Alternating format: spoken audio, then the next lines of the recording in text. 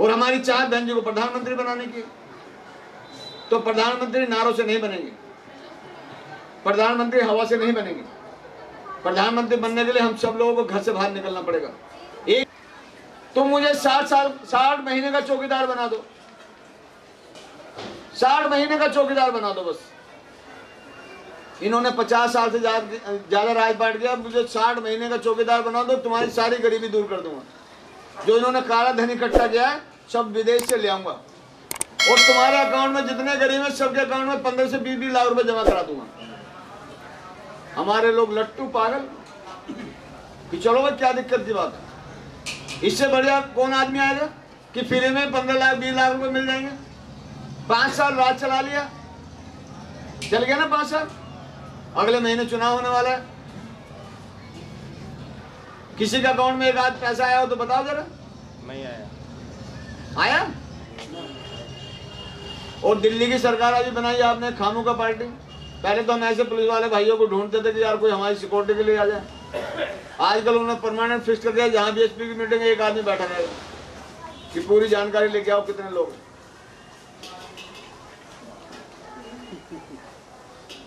कि क्या क्या तुम्हारी गतिविधि चल रही है? और जब सरकार बनेगी, तभी आपकी रक्षा करेंगे। अभी आपकी इंक्वायरी कर रहे हैं क्योंकि सरकार दूसरों की है? उसने क्या कहा? वो तो उसने मास्टर करे पीएचडी कर रखी झूठ बोलने में। कि उन्हें गरीबों चिंता मत करो। जितने प्राइवेट नौकरी कर रहे हैं, सबको परमानेंट करा दूँगा। डेली वेजेज को परमानेंट करा दूँगा। पानी फ्री पिला दूँगा। बिजली हाफ़ कर दूँगा। भाई हाफ़ तो हो गया बिजली आजकल पहले दो महीने में आता था बिल। दो महीने में एक बार सरचार्ज ठुकता था। अब अट्ठाईस दिन में तुम्हारा बिल आया था अट्ठाईस दिन में सरचार्ज उठता है। और उन्होंने ये भी कहा था भाई जिनमें तुम अटारे जो तुम्हारे ये दौलत खाने हैं, इनको मैं पक्का करा दूँगा। मालिकाना अधिकार दिला दूँगा। ये सरकारें कितनी चालाक हैं।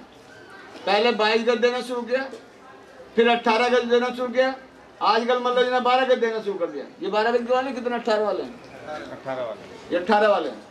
अट्ठारह से नीचे जो गए हैं वो बारह गज के हैं। अगली बार इतने देंगे कि भाई एक भैंस घूम जाए छह फुट दे देंगे। कि भाई आदमी मरने में इतना ज़रूरत है।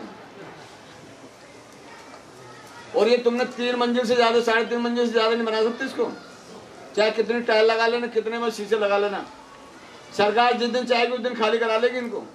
इनका मालिका मालिकाना अधिकार आपके पास नहीं है। है या किसी के पास? नहीं है।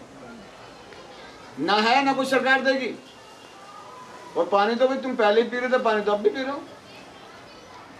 या कोई परिवर्तन तुम्हारा पाँच साल की जो सरकार इन्होंने चलाई है, चल रही है, उनकी चार तो की तो लगभग होगी फरवरी में मतलब आजकल फरवरी चल रही है। दस फरवरी को रिज़ल्ट आया था। है ना? चार फरवरी को रिज़ल्ट आया मतलब चुनाव हुआ था, सात को हुआ था शायद। चार को सात को? सात को हुआ था। तो भाई चार साल पूरे हो गए, कोई तुम्हारी लाइफ स्टाइल में कोई परिवर्तन हुआ हो तो वो बता दो जरा। कुछ भी तुम्हारा फ़र्क नहीं पड़ने वाला। फ़र्क तब पड़ेगा जब तुम गरीब के बेटे राजा बनोगे। अरे जाके ना फटी बवाई वो क्या जाने पीर पर आई। बोलते ना, हमारे बुज़ुर्गों ने कहा कि जाके ना फटी बवाई, वो क्या जाने पीर पर आई। जिसका दर्द नहीं, जिसको तकलीफ़ नहीं, उसे क्या दिक्कत है उनने का तनखा बढ़ा दूँगा, तनखा तुम्हारी तो नहीं बढ़ाई, पर विधायकों की बढ़ा दी। विधायकों की सबकी तनख्वाह बढ़ गई। मगर आप लोग जहाँ के, वहाँ वहीं खड़े हैं। तो यदि अपनी समस्याओं का अंत करना है तो तुम्हें गरीब के बेटों को राजा बनना पड़ेगा। और तुम्हारे वोट के अलावा कोई लाल देश के अंदर राजा नहीं बना सकता। वोट किसके पास है भाई? वोट तो गरीबों के पास ज़्यादा है। ये महलों में रहने वाले, कोठियों में रहने वाले, इनके पास वोट कहाँ है भाई? ये जे जे कॉलोनी वाले, झुग्गी झोपड़ी वाले वोट डालना बंद कर दें। तो इनकी माँ ने दूध निपलाया, कोई मतलब राजा बन जाए यहाँ कोई मुख्यमंत्री, प्रधानमंत्री बन जाए। मगर हम अपनी वोट की कीमत को नहीं जान रहे नहीं समझ रहे अपनी वोट की कीमत को। हमारे लोग तो जैसे चुनाव आएगा तो नारे लगाने लगते हैं कि आ गया मौसम? जितनी पार्टी उन्हीं के पास जाएँगे। सबके पास। और औसत लगा लेना। चार, पाँच हज़ार से ज़्यादा तुम्हारे एक आदमी को मिलने वाले नहीं है। चाहे सारी पार्टी में चले जाना। ज़्यादा ज़्यादा दस, पंद्रह हज़ार रुपए, इससे ज़्यादा नहीं मिलेंगे। पंद्रह हज़ार में पाँच साल अपने गिर गए फिर वो काम तुम्हारा क्यों करेंगे भी क्योंकि जैसे चुनाव आते हैं, हमारे लोग नारे लगाने लगते हैं। हमारे लोग नारे लगाते हैं। क्योंकि हमारा वोट बिकता है, वो जानते हैं, हमारी नवाज़ को जान गए वो। कि गरीबों को जब चाहे खरीद लो जिनका वोट तो बिकता है। कोई साड़ी में बिकेगा, कोई झाड़ी में बिकेगा, कोई अद्धे में बिकेगा, कोई बोतल में बिकेगा, कोई मुर्गे की टांग में बिकेगा। और लोग तो नारे लगाते हैं दिल्ली के अंदर। मैं तो सैंतीस सालों के पार्टी में काम करते करते सन ब्यास मैंने जब मैं बारहवीं क्लास में पढ़ता तब से मैं काम कर रहा हूँ। उन्नीस साल भारत सरकार की नौकरी भी करके आया हूँ। तब भी मंच पे ऐसे खड़ा होकर भाषण दे रहा था। हमने कहा, नौकरी जेब में रखी, जब चाहे जब ले लेना किसी को। कोई ना ले पाया। तो हम मैंने तो देखा है, झुग्गी झोपड़ी में जे जे कॉलोनी में गया हूँ, जैसे कल बोर्ड पढ़ने आज रात को जाओ, लोग बल्ब जला जला के घर के बाहर बैठते हैं। और कोई नेता आ जाए, जरा सफ़ेद कपड़े वाला, ऐसे नेता कोई आ जाए, कुर्ते वाला, कुर्ते फाड़ डालेंगे, बता भाई, क्या लेके आया? कहाँ है बोचल कल का क्या इंतज़ाम है? बैठने का क्या इंतज़ाम है? खाने का क्या इंतज़ाम है? कितने पैसे मिल रहे हैं बूथ पे बैठने के? और लोग नारे लगाते हैं कि जो पिलाएगा देसी, उसकी वोट कैसी? जो पिलाएगा देसी उसकी वोट कैसी? और जो पिलाएगा रम, उसकी वोट कम। और जो पिलाएगा विस्की, सारी वोट उसकी।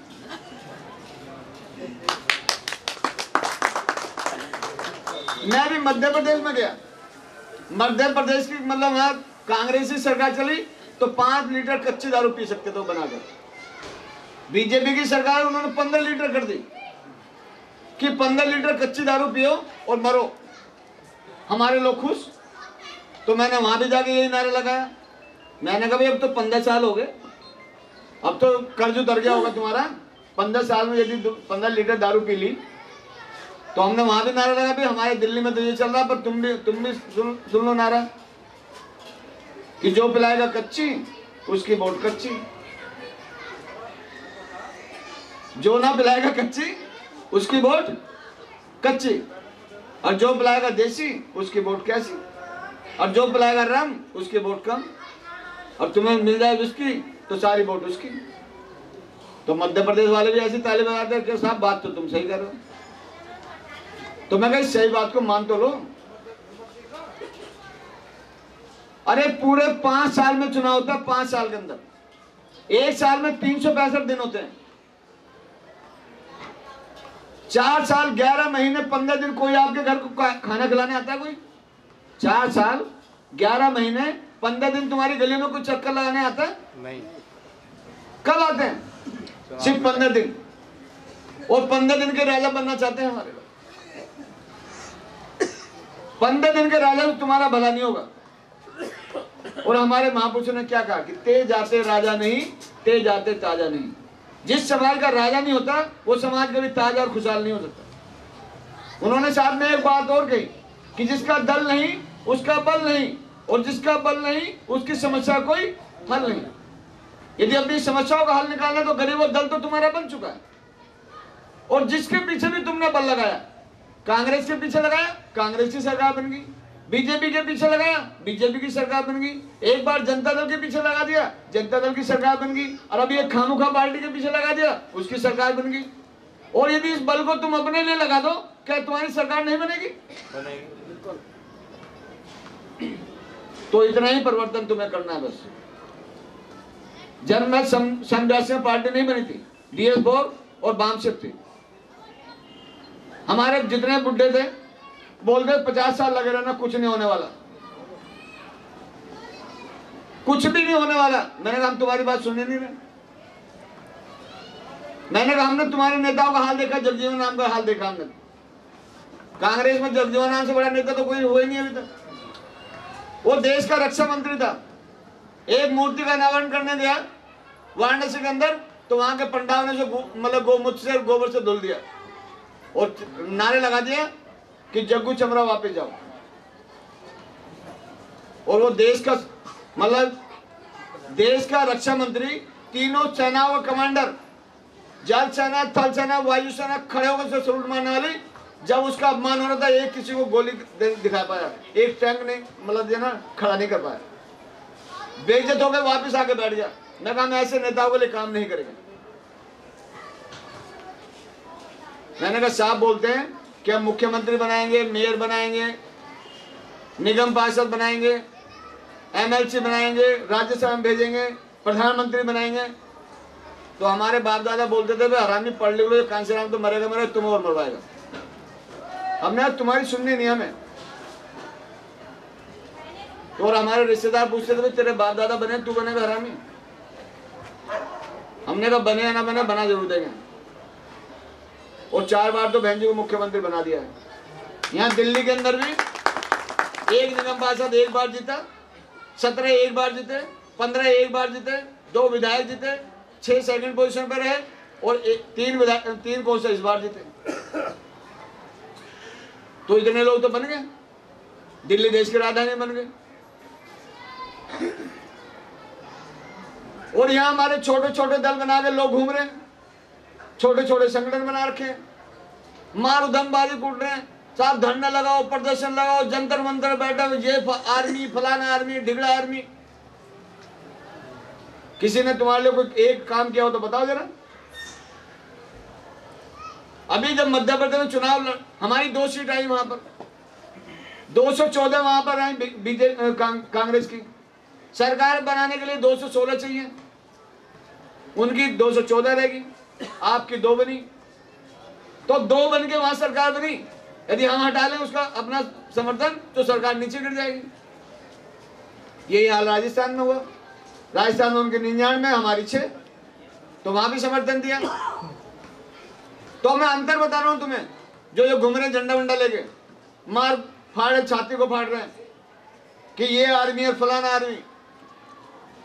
दो अप्रैल की घटना घटी थी देश के अंदर। हमारे नौजवानों पे मतलब मुकदमे लगा दिए यहाँ की सरकार ने। किसी को देशद्रोही बता दिया, किसी को पता नहीं, आतंकवादी बता दिया, केस ठोक डाले। और जब वहाँ हमने सरकार में समर्थन दे दिया तो बहन जी ने एक स्टेटमेंट दी क्या दी? कि हम अपना समर्थन वहाँ पे ले लेंगे। नहीं तो मध्य प्रदेश में, राजस्थान में जितने हमारे नौजवानों पे मुकदमे, फर्जी लगाए, वो सब जना वहाँ पे लेने चाहिए। तो अगले दिन ही सरकार ने दोनों राज्यों में से वहाँ पे लिए नहीं लिए? लिए? तो संगठनों में काम करने में फ़ायदा है या पार्टी को मज़बूत करने में फ़ायदा है?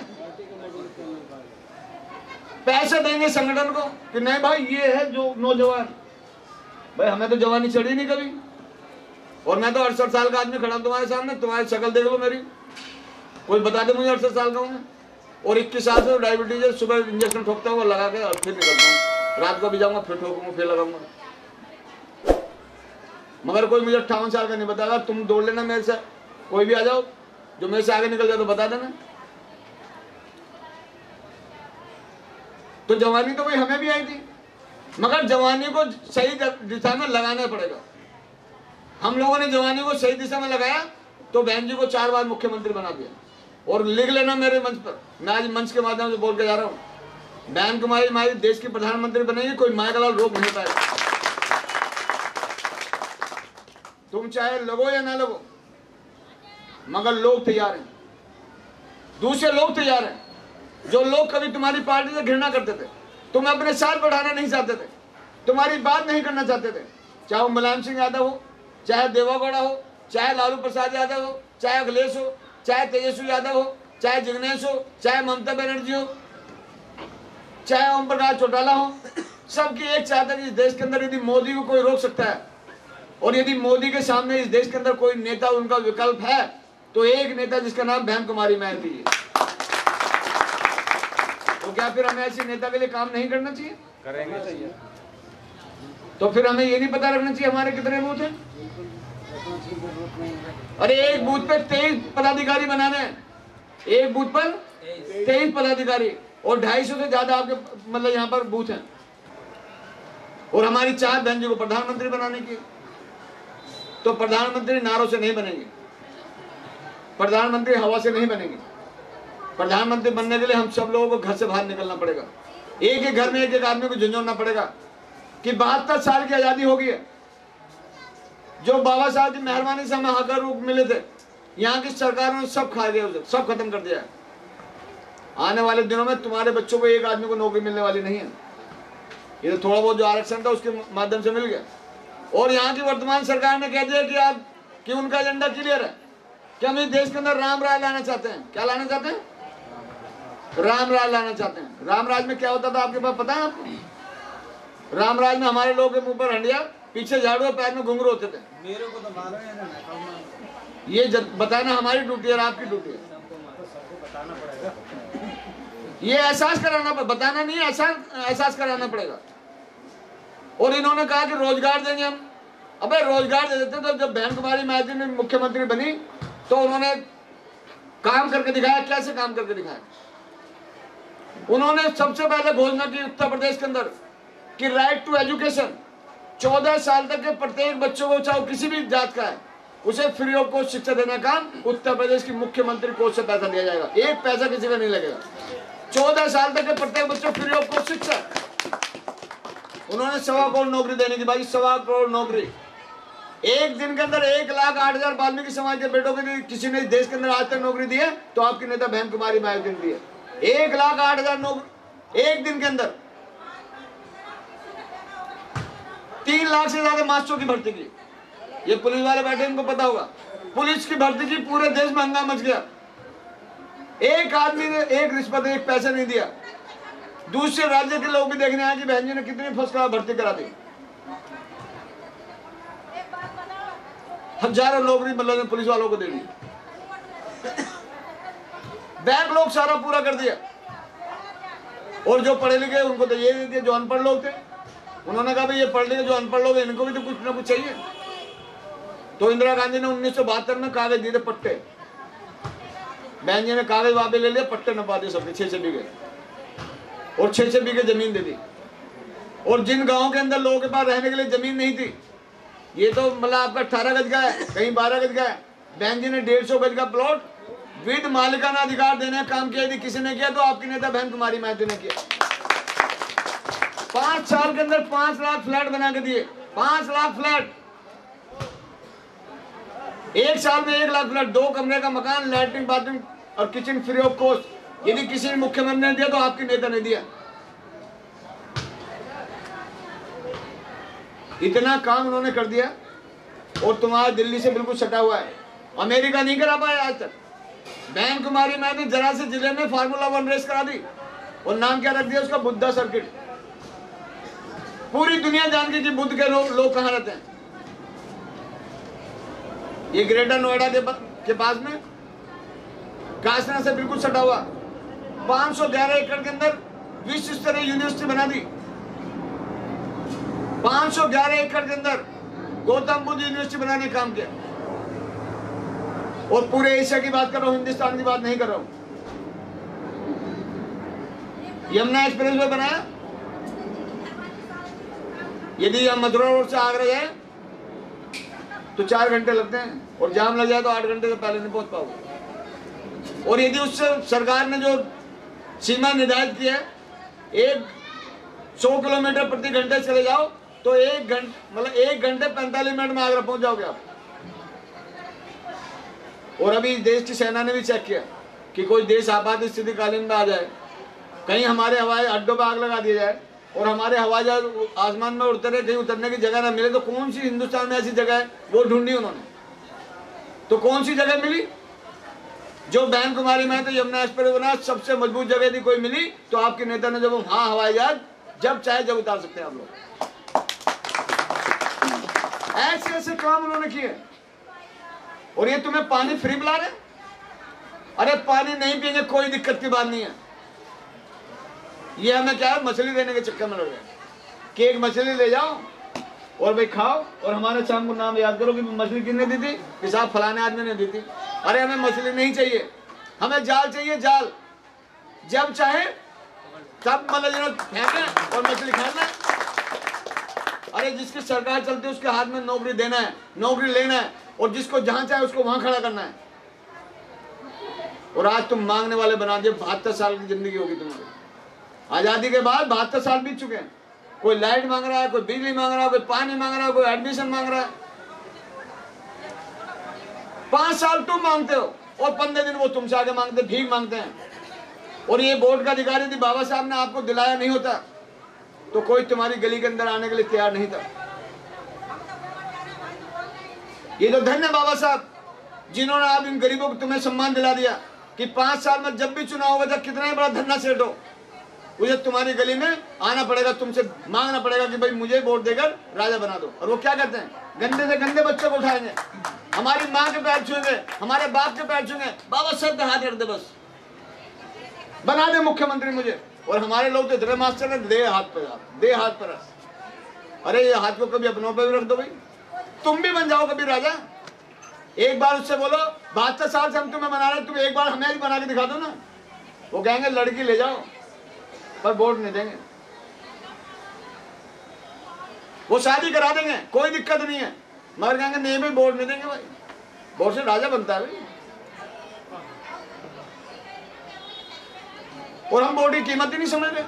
जो आया उसे दे दिया, जो आया उसे दे दिया, जो आया उसी के पीछे लग गए तो जब तक हम लोग इस वोट की कीमत को नहीं समझेंगे, तब तक हमारा भला होने वाला नहीं तो इसलिए यदि हमें बहन जी को सच्चे मायने में प्रधानमंत्री बनाना है तो जितने लोग हम लोग यहाँ पे बैठे हैं, ये आज हमारी मीटिंग होगी, आज हमने बुला लिया, आप आगे इससे कोई बात बनने वाली नहीं। गली गली में जाना पड़ेगा। एक एक आदमी से मिलना पड़ेगा, एक आदमी से बात करना पड़ेगा, घर में घुसना पड़ेगा। उससे बात करनी पड़ेगी, भाई, बता तुझे आज तक मिला क्या हिसाब किताब दे तू। सारी पार्टी का चिट्ठा लेके बैठ जाओ। और एक बार, और सबको यहाँ मौका दे दिया। और मैं गारंटी के साथ बात कर रहा हूँ। तुम एक बार बीएसपी को मौका दे दो। ये जितने तुम्हारे एक्टर है ना, सबको जो मतलब जो तुम्हारा मालिकाना अधिकार ना दिला दो तो मतलब एक बोर्ड मत देना तुम किसी और बीएसपी का नारा कि जहाँ झोपड़ा वहीं मकान। ये है बीएसपी का पैगाम। दिल्ली में इतनी जगह है जिसकी कोई सीमा नहीं अभी भी। और हम लोगों ने प्लानिंग बना रखी है। आप लोग प्लानिंग बना लो वोट देने की। तो ना तो एक आदमी बेरोजगार रहेगा, ना एक आदमी बिना मकान के रहेगा, क्योंकि बाबा साहब ने संविधान में लिखा है कि जब तुम, तुम्हारा वोट देगा तुम्हें एक ड्यूटी दी कि तुम्हें अपना वोट देकर राजा बनाना है। जिसको राजा बनाओगे, वो तुम्हारे हित को ध्यान में रखते हुए तुम्हें काम करेगा। उसे क्या काम करना था? दो चार ड्यूटी सरकार की खाली, कि प्रत्येक बच्चे को शिक्षा मिलनी चाहिए। प्रत्येक व्यक्ति को मकान मिलना चाहिए। आपकी लाइट, बिजली, पानी, रोड खरीदने का इंतज़ाम होना चाहिए। आप स्वस्थ रहे, आपकी स्वस्थ इंतज़ाम करना चाहिए और आपकी सुरक्षा का इंतज़ाम करना चाहिए। यही आम आदमी काम है, इससे ज़्यादा कुछ काम नहीं है। सरकारों को यही काम है। सरकार चाहती तो एक साल में एक समस्या का समाधान पाँच साल में खत्म कर देती। अब तो बहत्तर साल बीत गए। बहत्तर साल में पाँच समस्या दूर नहीं हुई। शिक्षा का तो यह हाल बना दिया है। कि वो जानते कि पढ़िए गरीब के बेटे पढ़ लिख गए। तो भाई जिसका दिमाग चल जाएगा, जब दिमाग चलेगा तो पेट भरेगा, जिसका पेट भरेगा उसका और दिमाग तेज हो जाएगा। तो फिर वो राजपाट की बात करेगा। तो यहाँ की सरकार ने गरीबों का पेट खाली रखा है। शिक्षा का तो ये हाल बना दिया दो तरह की शिक्षा बना दी। गरीब का बेटा एक तरफ़ पढ़ेगा, अमीर का बेटा एक तरफ़ पढ़ेगा। उनके बेटे विदेश में पढ़ने के लिए जाते हैं। और तुम्हारे बच्चे कहाँ जाते हैं? दिल्ली नगर निगम के सरकारी स्कूल में। जहाँ पूरे साल, पाँच साल मास्टर ही नहीं मिलता ढूँढने से। और तुम्हारे बच्चे के लिए क्या जारी कर रखा है? कि इसे क्या क्या गया एक, दो, तीन, चार, पाँच में कुछ आए या ना आए इसे अगली क्लास में चढ़ाते रहना कब तक? क्लास पहले पाँच तक का। फिर भी गरीब के बच्चे पढ़ने लगे। इन्होंने कहा, और आठ तक पहुँचा दो भाई। क्या आठ तक हो अब और पिछली बार तो कांग्रेस सरकार ने मतलब कपिल सिब्बल उन्होंने और ही कमाल कर दिया। कि भाई अब ये सरकारी स्कूल में पढ़ने वाला दसवीं क्लास तक फेल ही नहीं होगा। जब फेल ही नहीं होगा तो पढ़ने की ज़रूरत है भाई और उनके बच्चे कहाँ पढ़ते विदेश के अंदर। तुम्हारे बच्चों को छठी में या दसवीं बोल कर अपना नाम लिखना नहीं आएगा अपने माँ का बाप का तो लिखे क्या? और उसका बच्चा पैदा होते अंग्रेज़ी बोले गड्ढा पटर करेगा। जब दोनों का मुकाबला होगा, जो पहली क्लास से अंग्रेज़ी पढ़ेगा, और जिसको दसवीं में अपना नाम लिखना नहीं आएगा तो भाई किसके बच्चे doctor engineer I S P से बनेंगे? तुम्हारे उनके और अब तो और यदि तुमने हिम्मत भी कर ली भाई चलो मैं उसमें ले जाऊँ प्राइवेट सेक्टर में पढ़ा लूँ तो जाते पहले माँ का इंटरव्यू दो भाई। माँ का रबाब का और माँ अंग्रेज़ी में इंटरव्यू लेते हैं। तुम्हारा बच्चा पहली बार, बाप भी फेल हो जाएगा, माँ फेल हो जाएगी तो एडमिशन कैसे होगा?